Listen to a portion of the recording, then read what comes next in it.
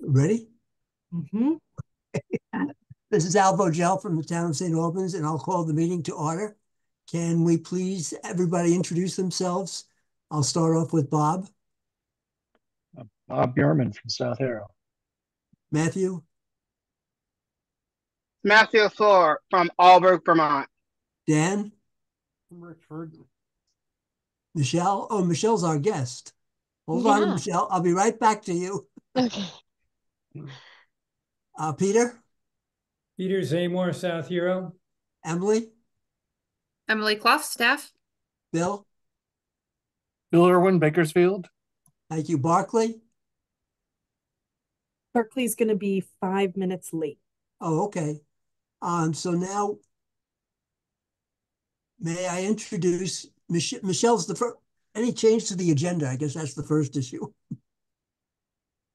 Hearing or seeing none, we'll move on uh, to introduce Michelle. Michelle's our uh, guest speaker tonight, and she's going to talk to us about electricity and how to save some. Michelle, please introduce yourself and your goals of this meeting with us. Sure. So my name is Michelle McCutcheon Shore. I am the Community Engagement Manager for Efficiency Vermont. For those of you who are not familiar, Efficiency Vermont is the statewide energy efficiency utility.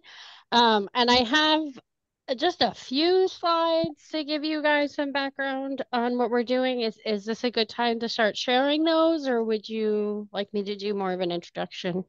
Nope, I think that's perfect, and you should have the ability to share. Let me know if Okay. it's haywire at all. Yeah, and I'll totally own that I am terrible at Zoom because we have to use Teams. So we're gonna test my Zoom skills, is what we're gonna do. You All would think we would have all landed on one by now. It feels like we toggle between the two. Never. Can you all see a blue screen that says Efficiency Vermont Overview? Yes. Yep. Yes. Great. And I have shared these already with Marlena. I'm assuming you're comfortable. You can email them out afterwards, maybe PDF, PDF them beforehand, just because there are some in slides and stuff. But um, so let's see. There we go. Uh, I'm going to go over a little bit who we are, who's Efficiency Vermont, some rebates, incentives, and financing. I'll also give a quick overview of our flood recovery offers that we have right now, um, and then how to get started working with us. I'm super comfortable being interrupted too. I can't, I don't know if I can see the chat, but feel free to just pipe in with the small of a group. I don't mind if anyone wants to ask questions as we go along. Um, so as I said, we are the statewide energy efficiency utility. Um, we serve all of Vermont except for Burlington. We provide weatherization incentives to um, the whole state except for Vermont gas customers who receive weatherization incentives through Vermont Gas. So I will provide our incentives, but if you are a Vermont Gas customer, or I know I'm assuming many of your towns are served by Vermont Gas, it's worth reaching out to them to hear more about their weatherization incentives. So we kind of have a five-tier approach to energy efficiency. We have rebates and incentives and financing. We do a lot of education, promotion, and one-on-one guidance. That's kind of where I sit. Uh, we have engineering and project support, upstream su- upstream supply chain management. So we have an entire team focused on the supply chain. This means making sure that we're getting the technologies that we need, working with the workforce to make sure we have the individuals that we need to to execute the programming. And we work a lot on partnerships. It is really important that we do not work in a silo as Efficiency Vermont. We need to work with our partners on the ground, which is all of you, as well as distribution utilities like Green Mountain Power, the local municipal utilities that are part of VPPSA, all those things we need to all be together, working hand in hand if we want to reach our energy goals throughout the state.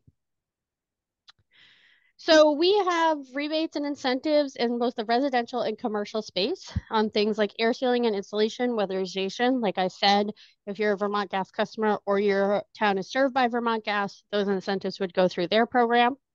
Heating, cooling, and ventilations and water heating. This is mostly looks like heat pump, heat pump water heaters, advanced wood heating, um, appliances, smart and connected technology. So things like smart thermostats, um, and then for commercial, in the commercial space, we have a lot of industry specific incentives, kitchen equipment, refrigeration, um, dairy production, those sorts of things. We also have income eligible offers, which I'll dive into a little bit more in the on an upcoming slide, and no to low interest financing. So income eligible services for households whose income a, a larger portion of their income goes towards electricity, they may be eligible to receive free and reduced cost projects through our um, low income services. These are mostly executed in partnership with our weatherization agencies, so people can call us to learn more and figure out if they qualify. These services include replacement of new appliances, if applicable, um, an energy assessment, assessment of their space, new LED light bulbs and water saving devices installed on site. Um, and then if they use electricity helping home, they could actually actually even qualify for a free ductless heat pump or heat pump water heater. So our comprehensive weatherization program, we have our residential home performance with Energy Star program. Right now, those are 75% of project costs up to $4,000. And for income eligible, um, so mostly moderate to low income Vermonters can receive 75% of project costs back up to 9,500. Building performance, this is for um, commercial spaces. We offer comprehensive weatherization, um, which basically means that we are looking for a certain amount of energy savings out of the weatherization work. They need to work with an EN contractor or energy efficiency network um, contractors to receive 75% of project costs back up to 5,000. And um, both both programs you have to work with an EN contractor. I should have said that with the residential program. I apologize. Um, we have three different financing options available right now. Pretty much anyone can access the home energy loan if our lenders qualify them. Um, these can start at 0% interest based on your income. And there's no minimum loan amount. It can finance up to $20,000. Or if you're looking at flood rebates, which I'll talk about in a little bit, can go up to 30,000. And projects can include weatherization, heat pumps, heat pump water heaters, wood heating systems, and Energy Star appliance replacements. You're also allowed to use this for health and safety reasons that are related to the project. So like, let's say you have water in your basement that needs to be dealt with before you replace your heating system, you can finance that through this loan program. It cannot be a separate project outside of the energy efficiency project, but if it is needs to be done prior to the energy efficiency project done, you can finance through this. Um, the Weatherization Repayment Assistance Program is a program that we are executing through participating utilities. You'll see them down there, BED, Green Mountain Power, Ludlow Electric, Vermont Electric Co-op, and VGS. To participate in this program, you do need to work with a participating um, contractor. And this is focused on heat pumps and weatherization. And the idea is that an individual can do weatherization heat pumps and then pay it back on bill financing through their utility. This is a relatively new um, program um, that we just got up and running. So not many people have heard about this, but definitely trying to get the word out. And then we have our business energy loan, um, which are low interest loans with zero dollars down to start. Um, the VSECU is the one participating lender for this. The other two programs, um, again, the weatherization repayment assistance program is through your utility, and the home energy loan has a few other participating lenders. The business energy loan is through VSECU with a $50,000 cap and flexible loan terms. And I'm doing a really quick overview of all of this. I wasn't sure what level everyone knew. I can go back and talk about any of this, and I also can send you guys more information afterwards. We currently are um, providing flood recovery offers for across the state. So this is a separate contract with the state outside of our standard energy efficiency um, contracts because there's a lot of people out there that need to do a lot of work. So we have offers for homeowners and tenants, rental property owners, commercial, and also a bonus program for contractors. Again, I don't, this is a little bit of a word soup. I'm not going to dive into all of this. Needless to say, there's a fair amount of money out there, up to $10,000 for homes to replace heating systems um, and uh, hot water heaters and appliances. Same thing for rental property owners. Um, commercial, it's pretty open ended because we know commercial lost a variety of different equipment. That is $4,000 per product that someone replaced. So, like, say someone replaced a um, kitchen equipment, refrigeration, a heating system, they can get a max of another four thousand dollars on top of our standard incentives, or an additional sixteen thousand dollars potentially on those equipment that were they replaced from the flood. Across the board, this has to be new and efficient equipment. It cannot be refurbished or used equipment. Excuse me, sorry. Um, so our Energy Excellent Network, this is the network that I talked about a little bit under our incentives.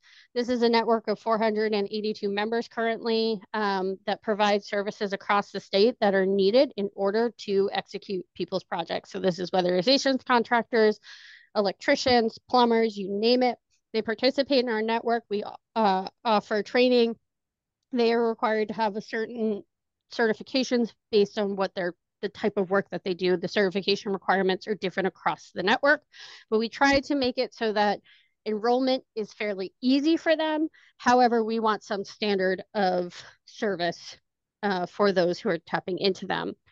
For many of our incentives, you need to use the EEN uh, contractor in order to access them. Again, we're trying to ensure that the work that is being done is done with a qualified and insured contractor um, DIY is great, but it can be severely problematic for a lot of homes. Um, and it's really hard for us to have quality insurance when it's when it's done by an individual that maybe doesn't have the proper training or certifications. So how we get started, really there's a whole bunch of different ways we try to meet customers where they're at. You can do everything from just calling us to ask us a question to scheduling a virtual home energy visit. We also have similar offers to the commercial space. You can find a pro and start, if you already know what project you want to do, you can go to the Find a Pro tool and talk to a contractor and get quotes and see where you're at. Um, we have a online shop that lists qualifying products. Um, and if you were impacted by the flood or know someone who has been, they can reach out to us at customer service or go to our flood rebate page. And we have an entire resource page, knowing that a lot of you do outreach or interested in outreach. We have a page where partners can go and download our materials and print them themselves. You also can always reach out to me and I'm happy to mail you some things if you have an event or anything like that coming up.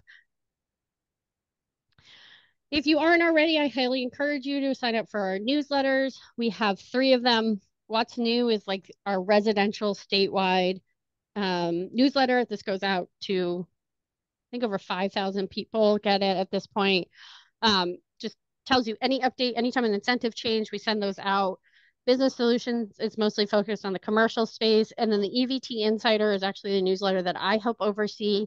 That's really focused on providing our partners with information that they need to do outreach or speak with customers on our behalf. Um, we really try to make sure that we put in partner information in there. So we will sometimes give you summaries of surveys that we do or behind the scenes things that we're doing out in the field and what we're seeing and hearing from customers to try to bring everyone along on that journey. And I think that's it. This is my contact information. Um, I put my Gmail account. That was silly. I meant to write, I have the same email. It should be vc.org. I will fix that before we send this out. Um, but I'm going to stop sharing if I know how. Um, let's see. And see if there's any questions. Questions, anybody? Matthew, Ma- Matthew? Matthew?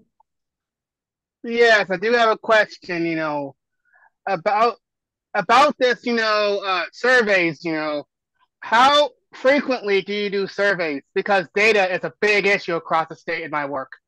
And most people are very upset that Vermont's behind the ball of, you know, gathering data or lack of resources of people to do this type of data. So I'm wondering, you know, how fresh is this data and how often should we be doing these type of data sets to reach out to outreach engagement, but also internally within Vermont's efficiency network on the utilities prospects of their surveys too as well. Utilities got to do surveys too as well to be able to understand the whole mechanism as a whole. So, like I said, that's a big question right there. And how updated is it kept up? Is this a live data? Pretty much, is this to be a live document survey that you, we take every three months or every year so we can get a bigger picture of where what we're doing now, what we're doing next, and what we're gonna do in the future. Thank you. So our residential survey happens every year. Um, it is very much focused though on what Efficiency Vermont does, what customers are experiencing with us. We really want to know if our incentives are making a difference, if our customer service team is providing them with the information they need, that sort of thing. We also provide data to the regional planning commissions every year. Um, these are usually about a year behind because it takes us about six months to get full data sets on the performance of all of our programs as well as energy saving data from the utilities. So the utilities will send us very high level uh, energy usage by town and then we compare it in past years. Um, but that we usually update that in June um, for the previous year. So it's like a year behind. And then the residential survey happens yearly. Other questions? Okay. Yeah, this is Bill. Yes, Um, Bill. thanks, Michelle. Uh, nice presentation. And I, I believe I caught that we're going to get, send a copy of that after you change your email. Fix my email. That was really embarrassing. Sorry, everyone. Oh, it's like the day before a holiday. Right. Yeah.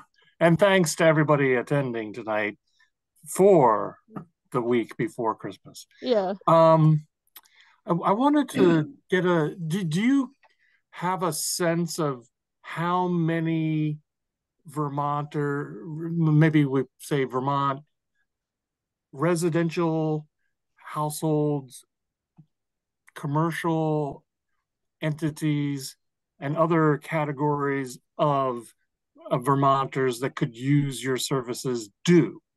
I'm just trying to get a sense as to whether that is a measure of how effective your incentives are or other elements of maybe marketing of of it or maybe where we might even help at the regional planning commission Um, wow. I don't know that I have any data of like this is how many Vermonter, this is how many residential homes there are and how many have uh, taken on our services. It is, it's way more difficult than I think anyone realizes to like count homes, right? Like even just saying like how many residential buildings or spaces are in a particular area is is low. We do know that uptake is the highest among homeowners, um, particularly moderate income and those who are a bit older. Um, young homeowners tend to be less likely to take up services.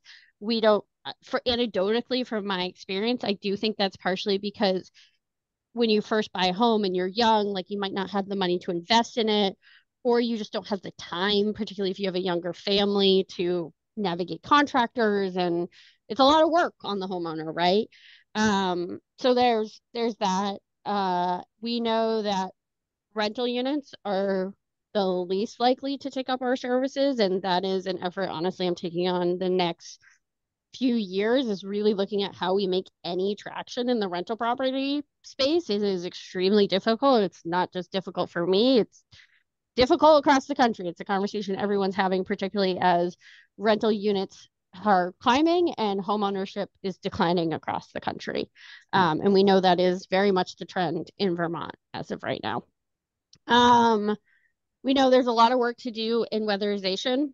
Um, heat pump yeah, weatherization and heat pumps, I would say, is the two areas that we have the most focus on. We've done a lot in lightings and lighting control um, and um, control work in general, but replacing heating systems is a very slow process. People don't usually replace their heating systems. They usually do it once every 10 to 12 years. You got to catch them in the right moment. They need to not be an emergency, frankly, because if you're switching your heating system, you're usually going to have to do additional work to your home, either ducting or cut a hole in it if you're doing a heat pump. So a lot of times people don't replace their systems until they're failing. And then in that moment, they don't have the time to switch their systems. So I don't know that I'm answering your question spot on. Um, but hopefully it's giving you a sense of of where the work needs to be done. Peter, I'll get to you in a, go on, Bill, excuse me. Oh, I was just going to say you're you're doing a good job, Michelle. I understand the challenges as you started your com, uh, response, and I hope that maybe we'll be able to do something a little bit better because I I, I do think it's important. You folks are unique in that you're an utility that is given certain uh, privileges, I guess you might call them, as a utility by the Public Utilities Commission, the state, the legislature, the Public Service Department, and um, probably uh, throughout some other even tax advantages. I don't know, but uh, for for us to get a sense of how that's going is important because I think you're really valuable, and it might even be that we're not investing enough in what Efficiency Vermont is doing. And that might be something that we could do from the regional uh, planning side. Obviously, that's what we're working on here is a piece of our regional plan we call the energy plan, and we want to try to find solutions. And if you're not as accessible as we would hope it could be, and you're valuable as I just expressed, what are some things that we might be able to do to uh, increase that uh, accessibility and and get that value that you do represent? Thank you. Yeah, and I again, the regional planning commissions get yearly counts of uptake of our programs. So at least you have that the percentage question is the part that we struggle with. So we can certainly give you participation data broken down by town and regional planning. We avoid doing percentages because getting up to date housing counts is extremely difficult. Like I know even towns struggle with that, right? Like people could be cutting their houses into duplexes or taking their duplexes and going into one unit and they're supposed to register that, but zone enforcement is minimal across the state. So totally can give you counts um, by town. Giving it to you as percentages is where I would struggle. Michelle, Michelle, I think you might look at uh, the um, ANR and the span numbers. They can, Act 250 can tell you pretty much where every house is and on what development it's in. So I think somebody in your organization could link to um, ANR or the Board, Natural Resource Board they might be able to help you identify how many houses there are in the state of Vermont. And I can also send that report around. I actually just pulled it up from last June. Um, and it, it, while it doesn't have that percentage, it has really interesting, valuable data. So I can include that um, in in kind of all of this follow up email that I will send, um, so everyone can kind of take a deeper look at that. Yeah, thanks, Marlene. That's a great idea. Um, uh, Michelle? Peter? Peter? Yeah, I really agree with um, Bill's question that information about the percentage of uptake would really be important. My question is, how is um, uh, Efficiency Vermont funded? We are funded by two main streams, I would say. One is um, the energy efficiency electricity charge on everyone's bill, again, with the exception of Burlington Electric. So throughout the state, when people pay their electric bill, there is a percentage and it, it residential, oh God, don't quiz me on the um, what it is. I can look it up off the top of my head, but residential has a set amount and then commercial scales based on the size. That all goes into a fund to the Public Utility Commission. The Ut Public Utility Commission then passes it along to us to execute our program. So that is our electric efficiency charge funding that is like the bulk of our funding there is other revenue streams that have come in over the years to help fund weatherization, which is, or any of our thermal program is a more accurate statement of that.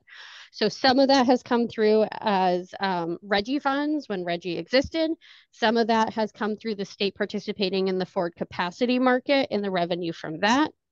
Most recently, we have been awarded funds through the American Rescue Plan to execute weatherization program Those funds were distributed not only to us, but also the weatherization assistance programs, the WAPs across the state, um, and a few other miscellaneous weatherization programs, um, which I don't have the whole list, but there were, I think, about 12 people that were received ARPA funds around weatherization. Thanks. It's really great to see that your value is being recognized in uh, by other businesses or, or, or organizations. Yeah, thank you. Um, Michelle, Barclay Morris here. Believe at our last meeting, we had a discussion, Bill and I kind of got into it as to to meet the state goals, I think you guys need to stretch a little bit further. And one of the things we discussed is if a person has a system that's aging but has not yet failed, and I'll use myself as an example, I'm I'm pretty sure I won't meet the income guidelines. Um, I burned 187 gallons of oil to heat a 2,000 square foot house last summer, along with um, three cords of wood. It's not economically sensible for me to change my um, oil boiler out at this point and spend the amount of money it's going to cost me to go to a heat pump. Mm-hmm. Um, and I think there's a large number of upper middle class older homeowners that are pretty much in the same boat that I am. Um, you need to think about trying to stretch some incentives to get people whose systems are aging and I'll admit my boiler is 23 years old. It's cast iron, so it should last, but eventually it, it's going to die. Human nature, I'm going to wait until it starts to get real cranky before I do it. And it may turn out to be a January emergency. Um, and I don't think your TV ads reach that population at all. And, and honestly, I'm not sure if your TV ads really reach anybody. You, you could look at some new marketers. Um, so, you know, where do we where do we go? How do we how do we pick up more people to try and catch up with the state legislature's goals, which my understanding is is that we are way way behind them already.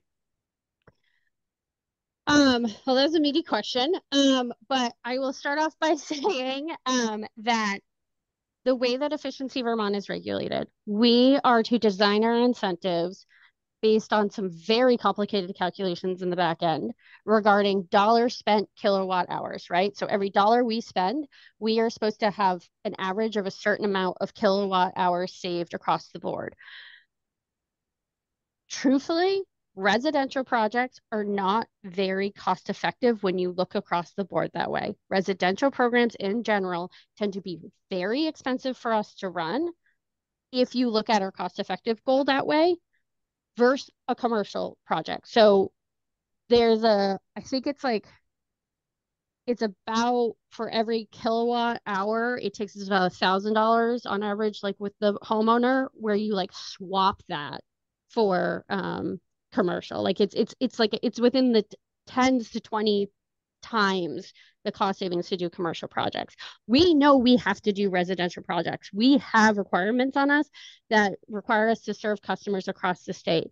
But I hear what you're saying, and you're not wrong. I'm not saying you're wrong, but with the way that we're regulated, we are pushed to spend dollars based on a cost of saving, a cost effective saving metric requires us to not overspend based on kilowatt hours saved.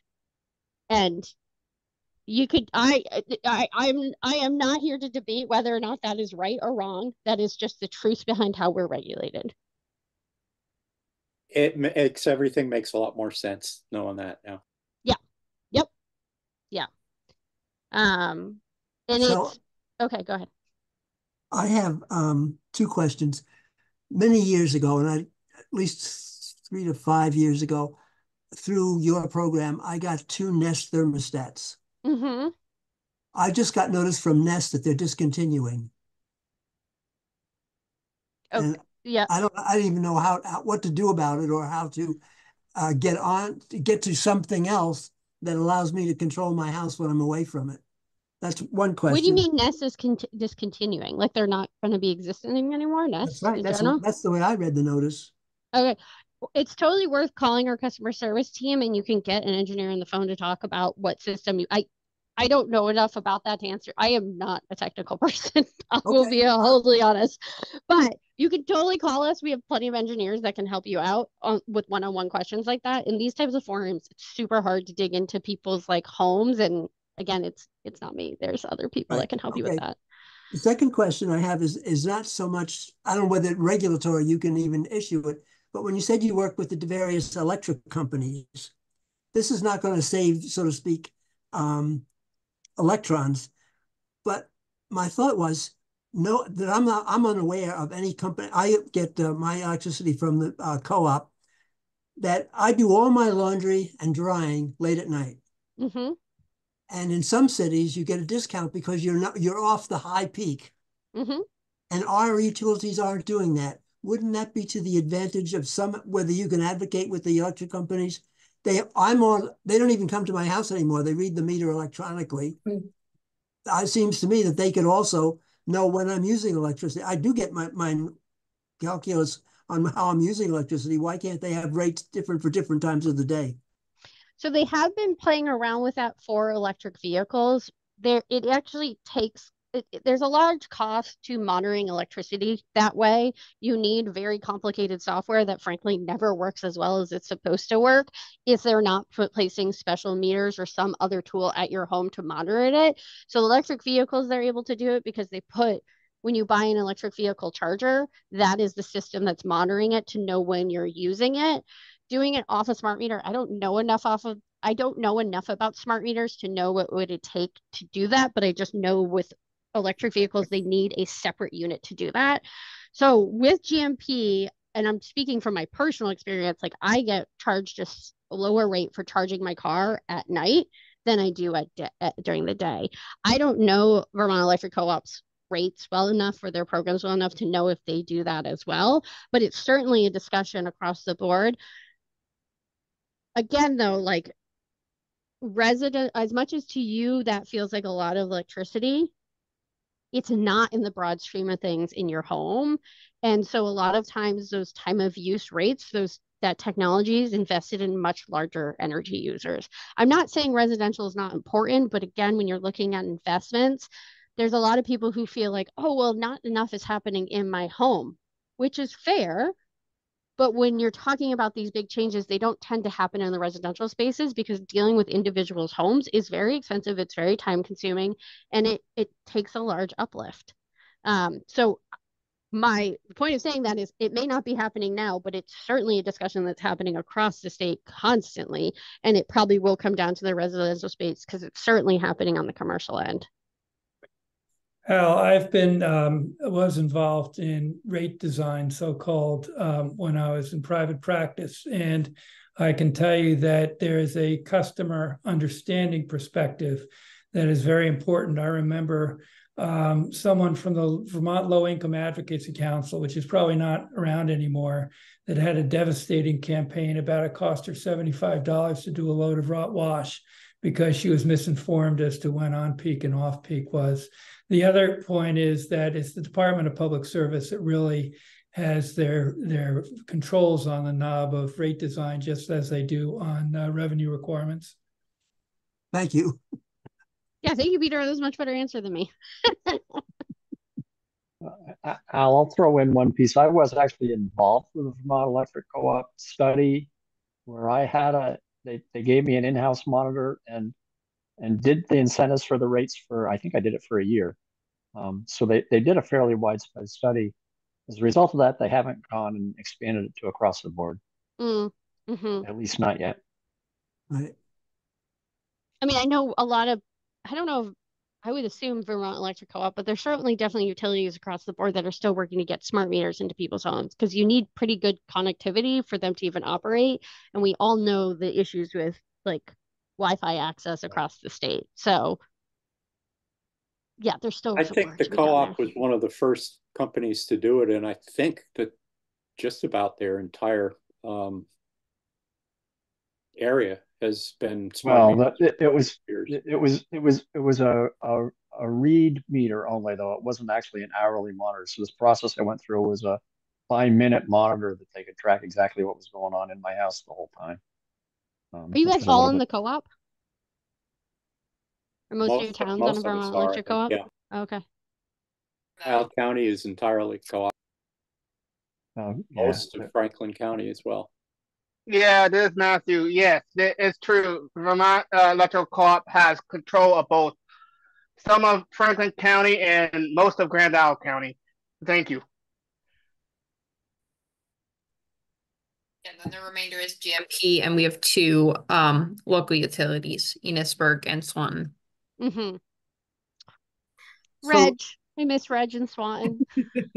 He's my buddy. He's used so many events with Reg. I was so sad when he retired. Anyway, sorry. Go ahead, Phil. Everybody that gets to know Reg loves him. You know. So, um, one of the reasons that I think we wanted to have you come, and again, we really appreciate it, is we're we're looking at a lot of data for the regional plan in an effort to help our communities and the residents in our communities with a regional energy plan. And that data helps us understand what is the current production by various means of energy and uses and how are they balanced and and how are they balanced especially relative to uh, sustainable portions of supply versus fossil fuels. And I wondered if you could characterize what data Efficiency Vermont is supplying to the regional planning commissions for the energy plans. And, and might be Marlena can help with that too, because she's obviously using it. Mm-hmm.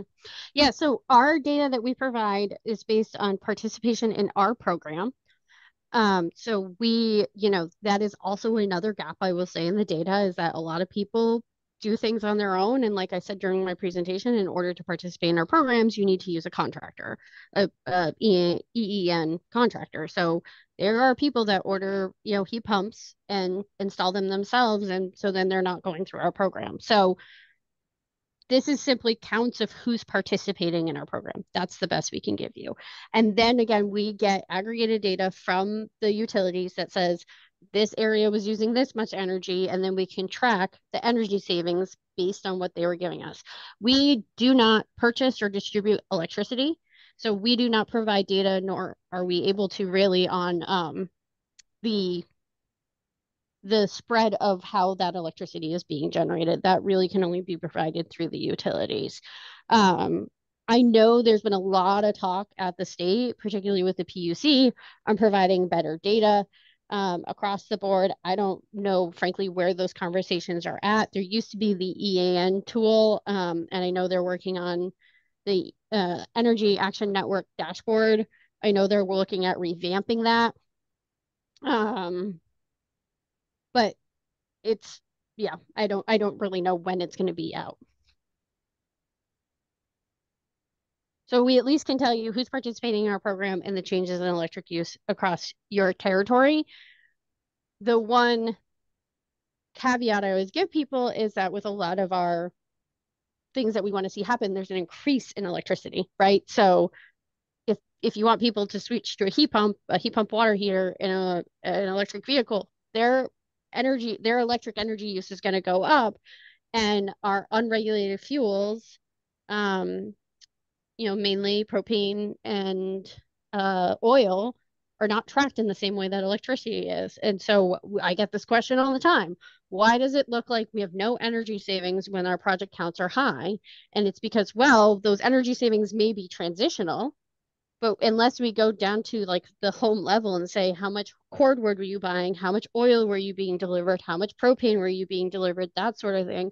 We have no ability to really change that uh, to track that except for the case with natural gas because that's so highly regulated and we can see those differences. You, you really make some great observations and points there and we've been thinking about a lot of those too. For example your your point about the increasing need for electricity, but the limited growth in quantities of electricity supply. And obviously, we depend a lot on hydro from Quebec and uh, even uh, some outside of the state nuclear. And yet, we also get a lot of fossil for our big transmission supplies of electricity. But um, we're trying to incentivize a lot of the um, more distributed sources of energy production, like solar and wind, and maybe even um, geothermal, et cetera. So, trying to get a, a sense of all of that. It seems like it's only the public service department that really is keeping track of that data. And Marlena, is that where we can get some of that information? Yeah, you're speaking about the generation data. Yeah. Yes. Yeah. Okay. Because I Um, think okay. this has been really helpful to hear from Efficiency Vermont. I'd like to, if, if we could, at some point, see if we could get somebody from public service to come in and really help us understand. We have a lot of this policy that says we're going to do this with electricity, but are we actually able to supply what's needed if we make all these changes when our mix, as um, we know it, is um, maybe not keeping up with that? The other, have you, have any of you read or looked at the energy burden report? The what? The energy burden report? No. So, um, I'm gonna put it in the chat. I think this link will, I'm gonna actually just put the link to the main page, but, um, I'm gonna share my screen again. So the energy burden report. Can you guys see like a table? Oh, here you go. Can you see a table right now? Yes. Yep. Okay. So, um, the energy burden report is a report that we put out approximately every three to four years. And um, it maps, and I'm sorry for the scrolling right now, but it maps energy burden, thermal, um, electrical, and um, transportation by town. We actually this year also broke it down to census level. Energy burden, for those who don't know, is like the percentage of someone's income that is being spent on energy. Nationally, this is usually measured by thermal and electric. We add transportation because we know transportation is the largest cost in Vermont and the largest energy user. Um, the reason I think particularly this will be helpful to you, one, if we do layer in a lot of census data here. Um, we try to pull in some information from across the board. Again, some of these dates from this conversation might not be as up to date as you would like us to see, right? Like this is capping out in 2021. Go Could ahead. you make that a little larger? I can try.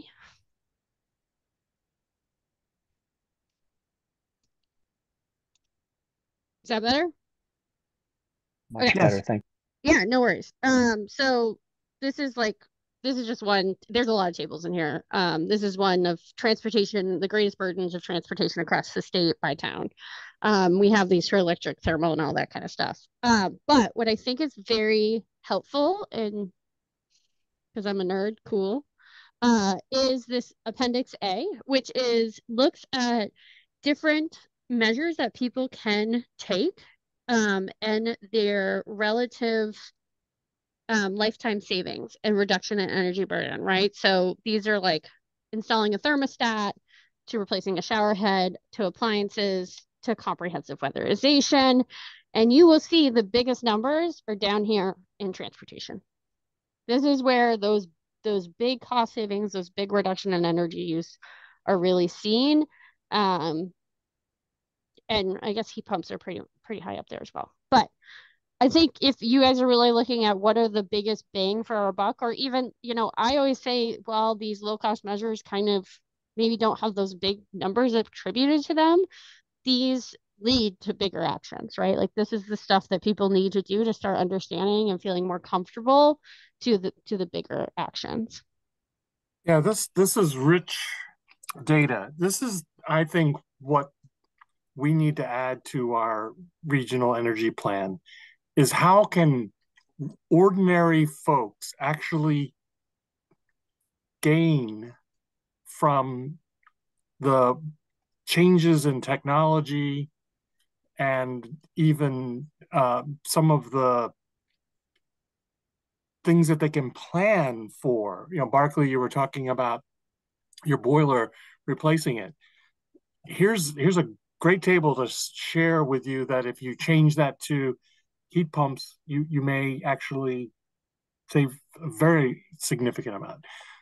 That's what I hope we can share with people rather than just kind of policy, which is oftentimes really not reality. So I just put the chat into the main page um, for the energy burn report. Um, we also have links in there so that you can download data from there, as well as um, I'll put this in here, an interactive map of that.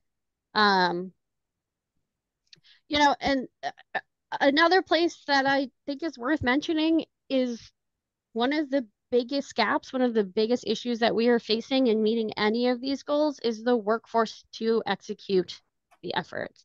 There's a lot of money coming into the state right now to address workforce.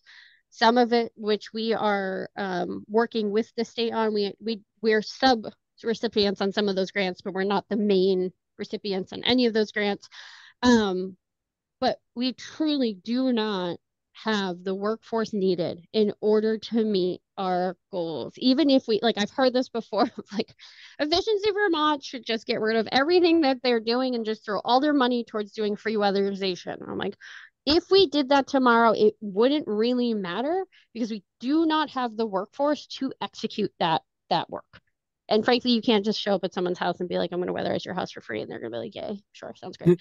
But that's besides the point another good point, Michelle. Thank you. I, I think Al has talked about this a lot that we should, in this region, let alone our state, try to build education programs that make environmental solutions, good energy solutions, a part of the economy that drives Vermont.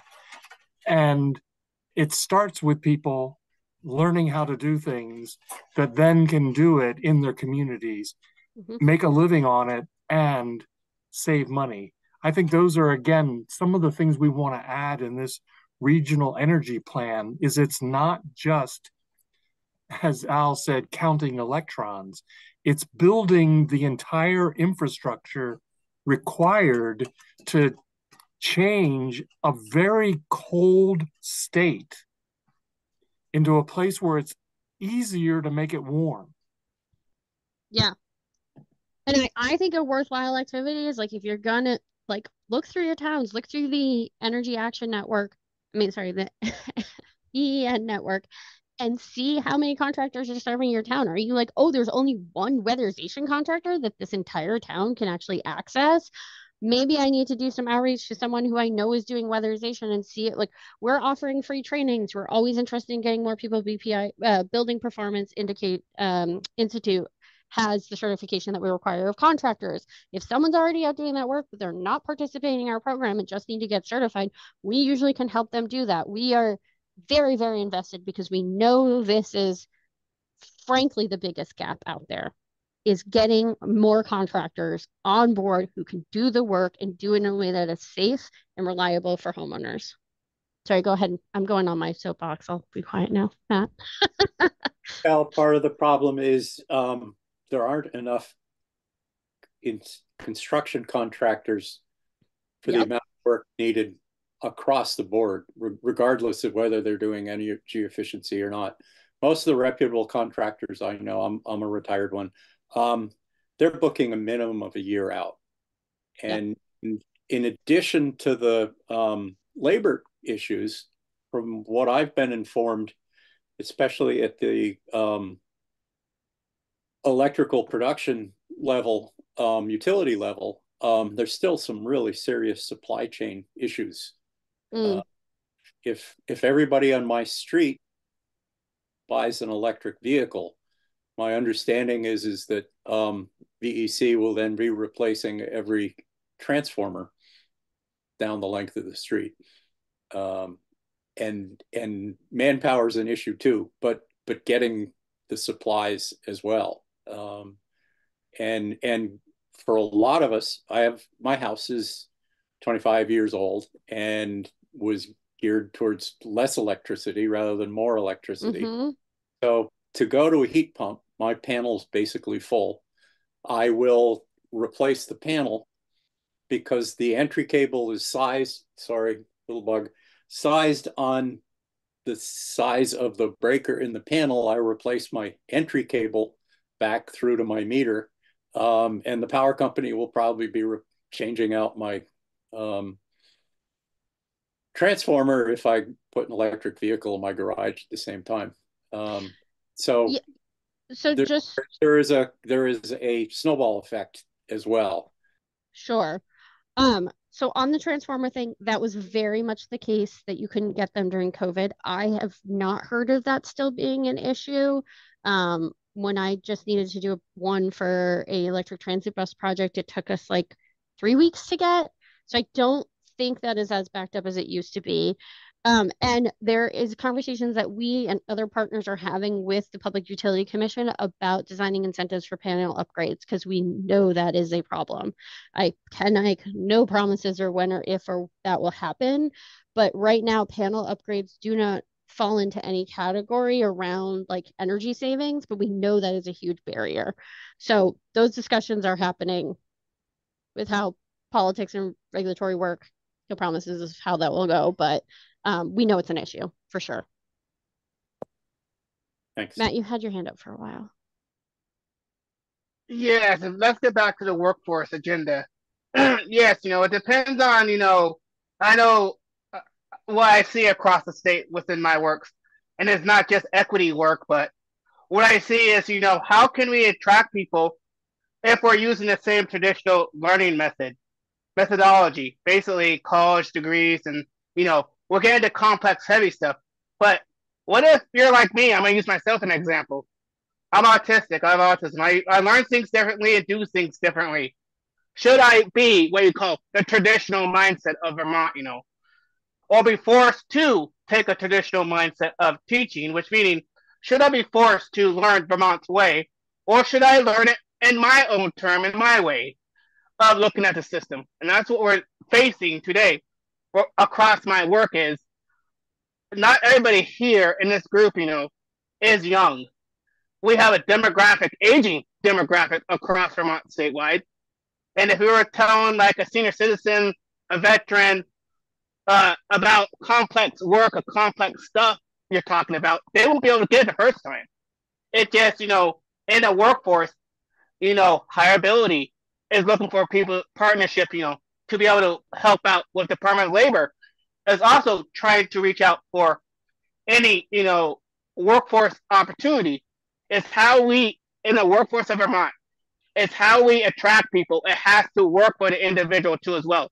That learning, that education, that tools, resources have to work for the individual because that's the one way they'll be able to be more efficient across the state and efficient in their work if it works for them, not against them. Thank you.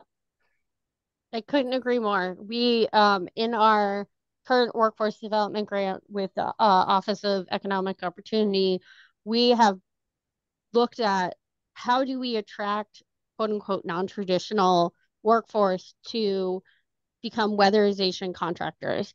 Um, and we've been working with Champlain Community Services, um, senior advocacy groups, um, uh, refugee and asylum seeker groups looking across the board and asking the question of like what do people need in terms of support to transition into a new career but also start their own business? Because we also know for a lot of people who maybe of of different demographics they may not be comfortable going and working for another business that doesn't reflect them. And so we really want to focus on how do we stand up their own businesses so that they can be their own bosses and be more comfortable. When I, I always tell the story when I was in my 20s, I got a grant through the um, Vermont Agency of Transportation to help stand up a um, a workforce development program around CDL drivers because we were in a CDL, we still are a CDL crisis. And we trained up all these women to become CDL drivers, particularly women of color. We threw them out into the workforce, and none of them lasted more than like a month because they were faced with such racism and sexism from their colleagues that they didn't want to do the work. And it, I mean, I was 27 at the time. I've learned a lot in the the years I've been doing this of like, oh yeah, that was probably a terrible model to tell, you know, a woman that maybe has limited English who's gone through trauma, who doesn't look like her colleagues, like go and just work for this construction crew as a CDL driver with not the comprehensive social services or frankly the training for her colleagues of how to how to welcome her in. And not to say that can't be successful it doesn't mean that everyone has that attitude but it it is shown to be much more successful if you stand people up and having their own businesses to be able to do this type of work Marlene, if I could just jump in briefly, we've spent the last 15 minutes focusing on a lot of little factoids that lead to one issue, which is how realistic are these targets? And I understand that having high goals is great for creating enthusiasm, but in any major business and in, in private business, you got to have budget, you've got to have contingencies, you've got to have percentages, likelihood.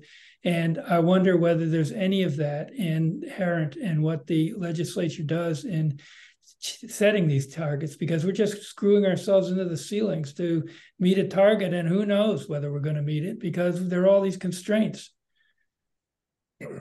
I'm a cynic i apologize. No peter I, I really appreciate your saying that because i think it's probably been obvious in so many of the things i say i feel like we need to be more um, objectionable to a lot of the status quo because it's just not working. We've been fighting the energy battle for decades, and we really need to do it in a more effective manner, which is holistic. It's it's it's a very complex thing creating energy for use in electricity that makes things run in heat that makes a cold place warm or hot place cool, etc. And just creating targets is inadequate. We need to focus on what are the collection of changes that need to be made across the whole of community and a lot of it's going to not only benefit energy, but it's very likely to benefit a variety of other important things for our regional planning. That's why I, I, I really try to, while we're trying to support the state, I'd like our state to do better at this. And I don't think just saying yes, yes, yes is going to get the state to do better. Um, all interesting points I do want to call out that it is 7:30. I think you were Yeah. supposed to have other agenda items other Yes. than me. As much fun, this has been fun, guys. I do a lot of these, and this has been great. I'm just gonna say I'm, I'm happy to come back anytime because these have been great conversations. Um, so thank you. And Um, thank you. my Thank you email is in the chat along with the energy burden links. Um, Marlena, I think I have everyone's emails from the from the meeting invite you gave me. I'm happy to fix the presentation, PDF it, and send it out. And I also can send out the the links to the energy burden report if that's helpful. That Can you be, do that for all of us, Marlena? say that again? Can you do that for all of us, or do we need to individually? No, no, I'm absolutely. just saying I'll just send it to get it everyone. Yeah. Whether it's me or Michelle, we'll get it out to all of you. And then if you can provide the most recent data to them, that would be great. Yep. Absolutely. Thank you very much, Michelle. We appreciate it. No problem. Again, I'm happy to come back anytime. Um, and I hope everyone has a good holiday. Thanks, you also. Thanks. You too. Thank you. You have, you have been one of the more enlightening guests that this committee has had. Oh, Very- thank you. I'm glad. I'm glad I didn't put anyone to sleep. Sometimes these meetings late at night, like tried to keep my presentation short. All Marlena? right. Bye, everyone. Bye. Marlena, you're on. Sounds good. Okay. Mm, let me share the presentation. So, so this is a kind of preliminary um, suggestion of what our new targets could look like. So um, I'm going to show you what our old targets look like. And then Emily and I spent some time kind of, I mean, in, in this exact vein of our targets don't feel realistic. And while we still have to, you know, meet a pretty high level when it comes to targets, we did some shifting around to try and make them feel more realistic in terms of where the growth was placed. Um, so feel free to um, ask questions as I go through. It it's going to be a relatively short um, presentation, and then we can discuss. Why is this not moving? Um, I think you're so, not in presentation mode. We're seeing like all of the. You're exactly right. I have my whole Zoom thing is messed up right now. Okay. I can't move the little bar. You get over to that slideshow, I think. Well, that's a slideshow. Yeah.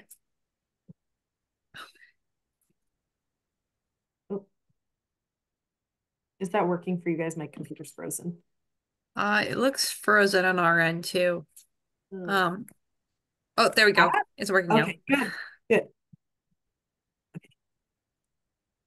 So. Okay. If it's just slow or if it's actually not moving. Oh, there we go. Okay. Sorry. So these are the targets from the plan we have right now.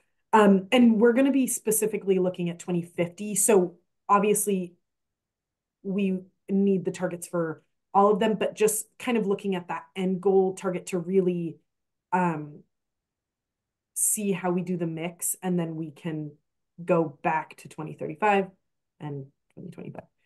Um, so the things that we kind of noticed immediately as problems, biodigesters are not included as one of uh, the generation types. Um, and wind is relatively high for something that is not, that we don't um, consider possible as far as commercial wind. So still small wind is allowed, but that's, you know, a pretty high target for um, small wind. So kind of going from there, um, these are these are our very broad overviews of how we ended up getting our numbers. And actually, it might be helpful. I'm going to show what we ended up coming to first, and then we can backtrack to um, the um, calculations that might just kind of give a better view. But so, so these are um, in megawatts, the goals that we had or have, I guess, currently in our 2017 plan. And then in our 2023, this is kind of our proposed um, and it's it's you know worth noting the change in number is in large part because we have added significant generation mostly through solar and so that solar number you see comes way down and a big portion of that is because of the added generation that we've already done so you know that feels really great to have this chunk taken out of it um, but but we shifted to make um, hydro and wind feel a little more um, realistic, and then also added in biodigesters because that's something that um, you know. Marlena, can I just verify what I think you said, and that is that the sixty-eight point four difference between the solar target in 2017 for 2050 and the 2023 target for 2050 is because that 68.4 was put in place already.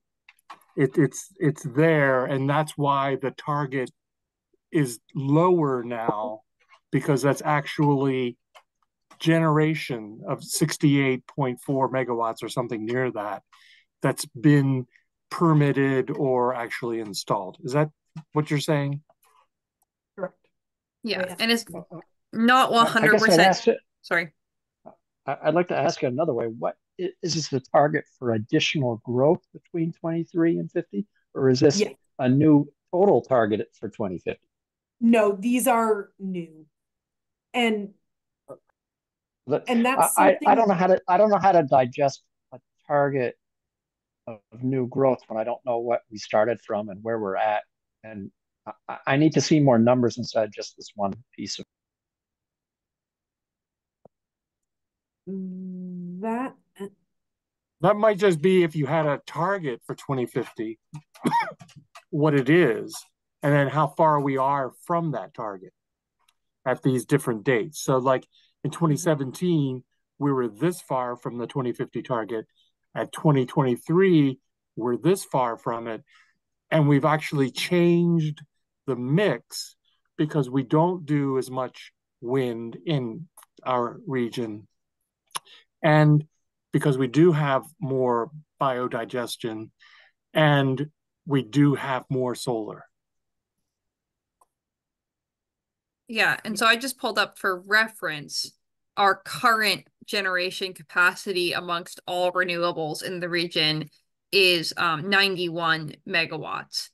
Um, something else that we didn't reflect here because it gets the numbers get kind of confusing is that when you move the megawatt, the actual tart modeling that the state used is based on the megawatt hours and different resources have different megawatt hour capacity. For example, solar only works if there's sun. So in the winter, the megawatt hour capacity of solar goes way down. Um, so it's not like you move one um, megawatt from, say, uh, solar to a biodigester, and it's exactly the same. The biodigester's more efficient on the whole because it can run year round, for example, whereas solar can only run for limited hours. So that adds to some of that complexity Yeah, and and those are all numbers that will absolutely come into play as we develop these targets. This is kind of a snapshot piece because that megawatt hour consideration makes it very confusing going from this to the total amount and the targets and the percentage. So yes, point taken, Bob, absolutely. I mean, I think that's very crucial is to know um total amount needed, where we are, and that will come. This is, um, you know, really supposed to serve as like a gut check somewhat of like, does this feel like a, you know, reasonable road to kind of go down with our targets? And I can go back up because this will kind of Before give... you do, Marlena, um, Yep. I've got two questions on those totals. Whose targets are they? And number two, the totals indicate a decrease from two thirty-eight megawatt hours total to one forty-eight, which is a huge decrease. How much of that is due to six years of meeting those targets and therefore achieving part of those goals? And how much of it is just due to revised uh, overall perspectives on where we'll be? Let's not get too bogged down in the details right now. Let's go back to the earlier slides uh, to hear what you have to say on those, Marlena. Okay. Um, so these are kind of our general calculations when we were looking at um, splitting up again, like, okay, so we need to meet this much generation. How do we want that to look? Um, obviously, in, in all of these hydro, wind, solar, biodigesters, the um, output and size can vary greatly, but we try to do kind of an average of like, and for hydro, we were looking at, you know, traditional hydro has kind of new development has, you know, halted. That's not even relicensing our dams is becoming, you know, very complicated. Um, but run of the river systems are, you know, there are run of the river systems moving forward and that are um, proving to be very successful. And so kind of um, assuming any going forward would be run of the river systems, roughly around um, 100 kilowatts. And then looking at roughly 30 of those. Um, and there's a state calculation for um, how many kilowatts we could add um, on top of existing dams, basically through improvements or expansions. Um, and we did our percentage of that, which ends up being around 750. Um, so we landed on around four megawatts as kind of a um, rough estimate for what that could look like and what maybe we should be aiming for yeah. for hydro. This is the kind of language and presentation I think our regional energy plan can benefit from for the readers. This this is good. Obviously, you need to dis- define what a run of the river hydro is because not everybody understands. But this is really nice. I appreciate what you you you two are doing here. We tried to make it relatively readable. um, and so then you know doing the same thing with biodigesters. And there's it's so tough with the technology advancing as quickly as it is. Um, but the kind of current assessment for biodigesters is a farm of 500 or more cows. And so looking at that we have 19 of them in our region um, looking at the average output. And then you know taking that 2.85 down to 2 with the assumption that not every farm is going to implement this to the full extent. Um, so two kilowatts feels like two megawatts, right? Yeah, two megawatts. Sorry, that should say megawatts. Um, feels like a, you know, relatively reasonable um, goal for biodigesters. Um, and then wind, again, not commercial height. We're talking, you know, smaller. Um, and the average output of that is 25 kilowatts. And then usually sites would have a couple of those. Um, and coming back again to two megawatts. And, and you know, I, I, I want to try to reflect on some of the experience that we're having in our uh, project review committee in that we're trying to apply the regional plan that describes for example, um, wind, what we are um, incorporating as good in our regional plan and what we're saying is not. In many cases, what we are describing is appropriate for the rural nature of Franklin and Grand Isle County, in fact, of Vermont outside of Chittenden County, is that smaller is more likely to be acceptable to people. And that's where, if the state's serious about trying to get hydro, wind, solar, and um, biodigestion and other energy sources, that they look at how to bring industries up in Vermont that develop what I'll call micro solar, micro wind. You know, we're not New York State, New York City. We are very low population density, mostly rural, many thousands more trees than people. And we need to just recognize that in not just the plans that we write, but also the economic incentives that we develop, the technologies we develop, the work uh, people, the, the, the, the, the skilled labor that we develop, the educational foundations in our technical colleges. These are the things I think we should really try to build into our regional energy plan. It's, it's realistic. It's Vermont. It's not trying to make what could be used in Illinois in Vermont. This we're a unique place.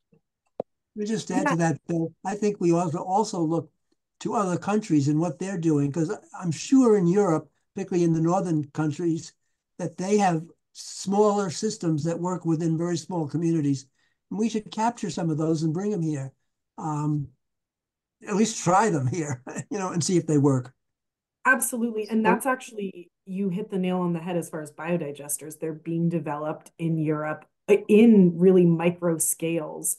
Um, and that technology is slowly starting to kind of come over and farms over here are starting to be able to use that. And I think, Bill, to your point, like that really is what we were looking at with all of these things is like relatively small biodigesters, relatively small wind, relatively small hydro. Those are the things that, you know, ring true to um, the region, basically, and what's possible and what's desired. And so I think you're absolutely right too, that the context of that, of like not just two megawatts, but where are we assuming that two megawatt, you know, will come from, I think is could really help to alleviate some of that feeling of like these are not realistic and they're not built for us. And this yeah, is you kind get of a, 200 megawatt, 100 kilowatt sites, and you get your two megawatt. So you know, you just build it by numbers, multiplying it out, not by trying to be industrial scale. absolutely. Well, uh, I, I, the wind piece, I actually have a problem with saying it's, it's up to four turbines. What I thought we had in mind when we wrote the last energy plan is when we, when we were thinking a small wind, we were actually thinking uh, a residential wind or a personal farm wind. We weren't thinking a wind farm. We were thinking a single turbine of 25, not four or more, or, or even two to four. We were really thinking this was going to be a single tower, not multiple towers. Uh, originally, at least in my mind, originally. For those of you who were on, on the committee at that stage, I'm not sure if your vision was like mine, but we, we were not expecting any kind of wind farm. Um, and, and so you're saying here four is actually more than what we had in mind originally. Yeah, Bob, I appreciate you bringing that up. Again, this is from our experience with uh, project review. We have in our regional plan the goal of particular height, but we also think that the number of individual wind turbines can become industrial looking even when they are of a shorter height. So we might want to revisit this because it, again, sort of is maybe appropriate if you have a community wind project, like there are community solar projects, solar projects, because there you get a big, let's say, two megawatt or even 20 megawatt solar project and the whole community can benefit from it. You, you wouldn't put that for one home, but for a, a wind turbine, you could put up one relatively short uh, tower with a wind turbine on it that meets our 100 foot restriction, and it could power that whole farm. And it's a it's a big farm. It's it's a farm that's doing a lot of electric usage. Those are the kinds of developments we think are good for Franklin and Grand Isle County. So this is something we should talk about in a combined conversation of project review and the energy um, planning process that we have here is how many turbines do we think we want to include as a part of our planning? Because what, what we're hearing is whenever you go over one it creates the image that a lot of people don't want in Vermont, which I always equate to we don't have um, what are those uh, boards that you see out on the highways where you're driving in southern Billboard? state billboards. Yes, we don't have billboards in Vermont. They're against the law. I, think a lot of people in to you, Vermont but think of two wind turbines as as aesthetically unpleasing as a billboard. Um, so I just wanted to share that. And Bob, thanks for reminding that that's where we need to get these two planning processes, regional project review and energy on the same plane. Marlena? Yeah, absolutely. And this is again not a directive. I mean, the the two to four was simply part of the calculation of what might happen. It it could also be assuming sites will house one turbine and it's, you know, don't make me do the math, 120. You, you know, like that that could still be the calculation. Um, and this was, you know, really to get kind of a relatively reasonable target. It's far from a prescriptive, you know, list of what should or is going to be. Um, Marlena? I, yep. I have some possible homework, or you probably could delegate it back to me. But if you drive on 105 towards Enosburg, um, mm-hmm. by the old, um, just before you get to the old, um, I think it was Girl Scout camp, there's a big curve. A lot of people have accidents there. There's a big curve in the route, road, and it heads towards the northeast. There's a and there's a road that goes off. I'm not sure where it goes off anymore, but there's a road with three um, windmills, very yes. small, but they power that farm. Mm-hmm. I can go out and take pictures of that, but I'd be curious to know if I I don't know if I had probably knock on the farmer's door and ask about things, but to me, I need something more visual and understand how much those three turbines produce. And mm-hmm. also, there's a, a, farmer that and going on Route Seven just before you get to the um, um, Blakely Road intersection uh, in Colchester, driving south from exit 17 to uh, Blakely Road. There's another very small farm who just has one, uh, I would say less, maybe 75 feet tall windmill. And he's su- supplying a whole lot of electricity to his greenhouse and his house. So again, and, and it's not, for me, it's never disruptive. I like looking at the thing turn, make sure we got wind as I drive by at 40 miles an hour. Um, but there are some examples there that, uh, to Bill's point, I'd like to learn more about uh, what we're talking about. Absolutely. I I'm honestly very curious too. I don't know what those ones produce, and I used to drive by them every day. Those owls was one on 105. They're somewhere between 75 and 100 feet tall, and I believe those are around 25 megawatts. Those are small, relatively small output. Um, and I would consider those, you know, small farm kind of scale, a farm scale. The ones okay. that have been proposed to project review is four towers at 100 feet tall, close to 100 megawatts each, um, because of the size of the turbines. So they're they're actually very large turbines, much larger turbines than those ones on that farm. And the reason he feels that they meet our plan is because they're less than 100 feet tall, because that's the only limit we put on it. Right but, but they're I, commercial, I they're kind of commercial grade at 100 feet. Okay, but I thought your point was to try to push non-commercial grade. Yes, my point is the ones on the farm are great. It's it's like yeah, okay. old traditional farm with a windmill.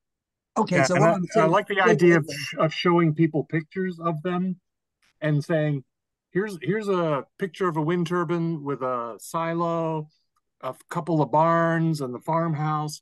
This is Franklin and Grand Isle County, Vermont that's that's what we like here. That's what we want to have. Take your other stuff to another place. But it looks like Peter's been trying to get a comment in. I've got two off the wall, an off the wall irrelevant question, and then a comment, and then I'm going to shut up. The the um, question, well, the comment is, I guess they're both comments. A lot of um, renewables, including solar and wind, the environmental impact is very geographic de- dependent. And I've always wondered why we have such a focus on our state boundaries in deciding where to is appropriate to develop it. For example, I was the lawyer permitting the Lowell Wind Project. And I would suggest that the environmental impact per megawatt of that is multiples the environmental impact of the two um, upland New York, um, northern New York wind farms, where they're on these sloping upgrades in the St. Lawrence Valley, and there's plenty of room. And yeah, there's some space needed on the PV20 that'll probably be expensive. But why we have such a almost fetish of having all of the renewables declared in our backyard. I know we can't do anything about it, but that's just a question. My other comment is, Marlena, it would be helpful, and sometimes it's impossible, to provide us with some of these materials in advance so we can be more informed um, on on them. Uh, maybe they were um, uh, given advance and I just missed them, but I always feel more comfortable when I've seen things in advance. Uh, and then finally, I'm going to say that uh, I had a hip replacement surgery yesterday. I had two and a half hours of sleep. So I'm going to sign off.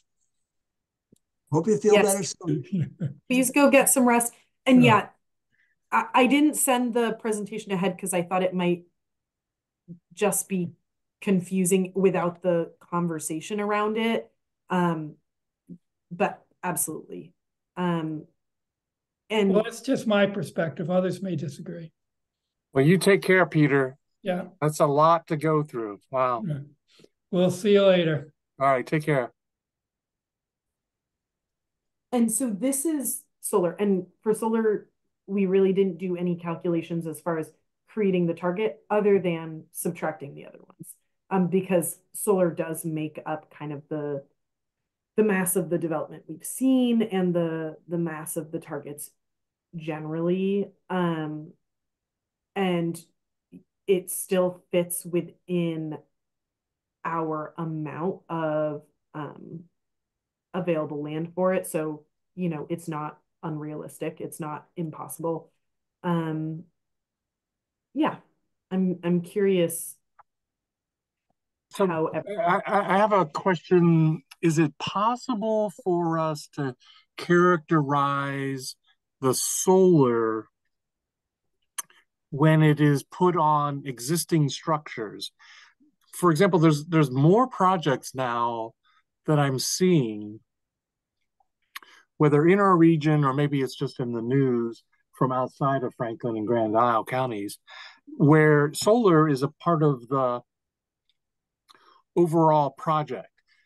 For example, my health department is moving to Waterbury, and the new Waterbury building I'm going into, the whole roof is covered in solar. I would like to try to encourage more roof based solar, especially on industrial facilities. And uh, I know that there are pro- programs for doing that at public service and uh, within the overall goals of the utility commission. But I, I'd like to try to do that more here in Vermont too. A lot of barns could probably have solar on them and it would not decrease the agricultural land that's available. But um, I just wondered if there was any data on the not only on buildings, but if there's a breakdown also on some of the other preferred target areas. When we made the maps years ago, there was language about preferred areas like um, brownfields or um, Quarries. quarries, yeah, or other kinds of facilities that have limited usage afterward, and that these would be really good for. It, that might be something for us to focus on too.